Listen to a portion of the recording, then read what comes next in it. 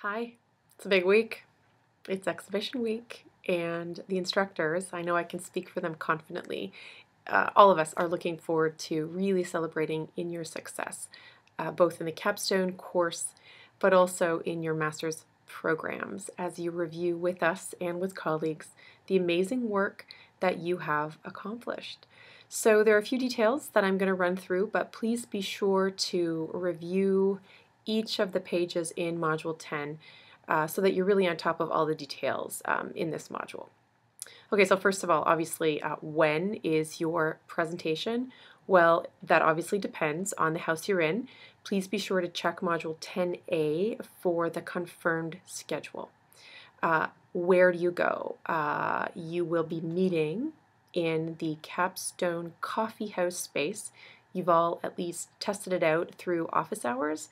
Remember, there's a code that you need. It has been emailed to you so that you can access the meeting space. What do you need to bring? Well, you need to bring your A game. You need to really think about how you will present your uh, portfolio to your colleagues and to your instructors.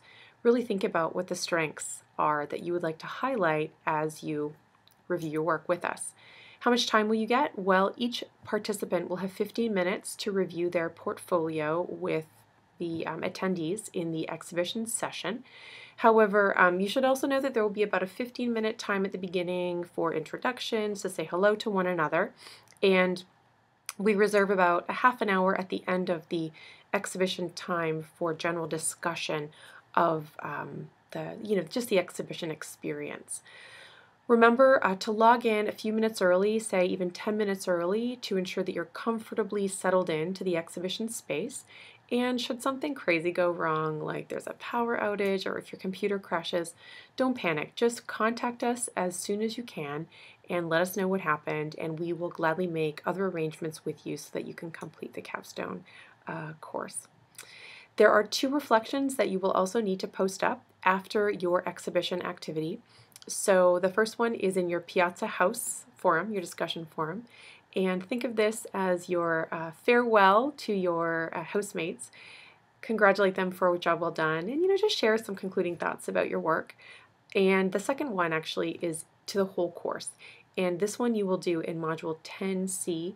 Using the comment function, you will provide a couple of thoughtful paragraphs of reflection to the whole class on your portfolio experience and any insights you've taken away.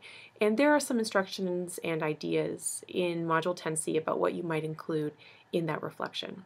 Okay, I think that's it. I wish all of you good luck and clarity of mind and focus as you present your portfolios during your exhibition times. Good luck.